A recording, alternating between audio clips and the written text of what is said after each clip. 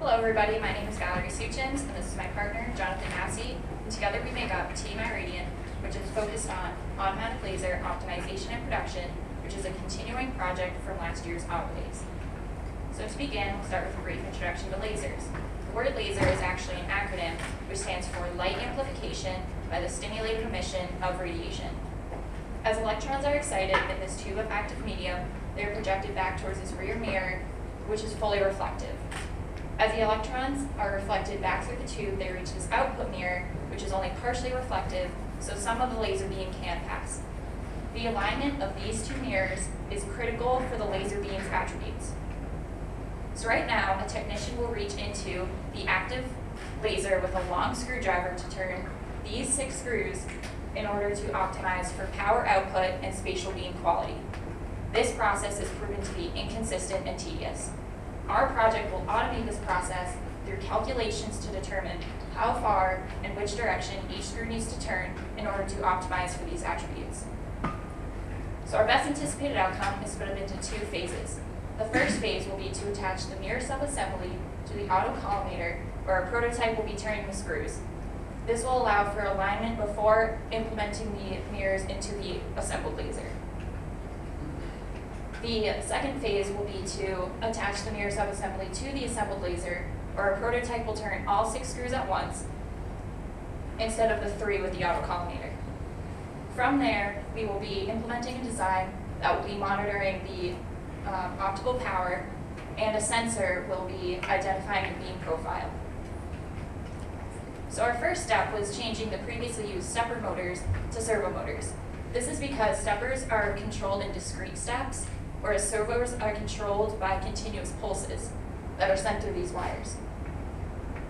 These pulses have a current component which will allow us to monitor the torque exerted onto the screws. We tested with multiple mo motors, one of which was a 180 degree um, motor that was controlled by the potentiometer and a 360 degree motor that was controlled by the period of the pulse. We found that these did not give us the functionalities we needed, so we decided to implement the hybrid servo, which will be controlled like a stepper but operates like a servo. This is because there's an encoder inside the motor that will keep track of its position. This is a compatible driver and it will accept the pulse size, direction of turn, and instructions for the encoder from a microcontroller. The black ports are for powering the driver as well as sending the instructions from driver to motor. For our project, we have been using an Arduino, which is a microcontroller. This microcontroller allows us to control a single motor while conducting tests. Uh, we used the Arduino IDE to create test code for each of the motors to see their limits and their functionalities to best decide what motor we should use for the project. On the right is an FPGA.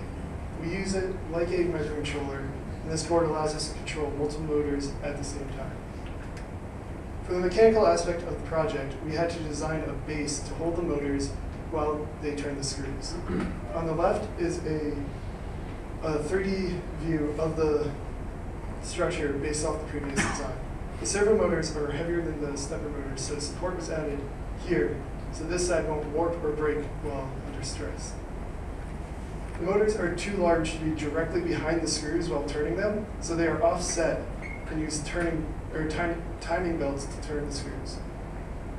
Uh, during the phase two of the project, there will be an active laser going through here, so the space will have to stay clear. An important part of the project is constantly knowing the torque on each of the screws, which a stepper motor cannot do. So we use a servo motor to design a system to help calculate the torque output of a motor. The basic idea was to create a relationship between the changing current with respect to torque. Um, unlike a stepper motor, a servo motor is controlled using pulses, which allows us to have a current variable. Using that variable in these physics equations, we, will, we were able to conduct an experiment where we increase the weight and read out the change in the current output of the motor. This allowed us to calculate the torque constant. While a motor is turning a screw, we can know the exact torque on that screw based off that torque constant and the outputting current. So our remaining technical challenges include integrating the servo motors into the code. As it is right now, the code has to decide what direction and how many steps to take, whereas a servo motor requires a position, um, requires a position to reach. We also need to integrate the current feedback as a limiting factor so we do not overturn the screws break the gear or have loose screws by underturning them. Then we will conduct final tests for phase one. For phase two, we will have to implement our prototype into an assembled laser, um, which will optimize the power and the beam quality. As of right now, there is no means to measure both these attributes at the same time. We would like to thank everyone who helped and supported us on the project.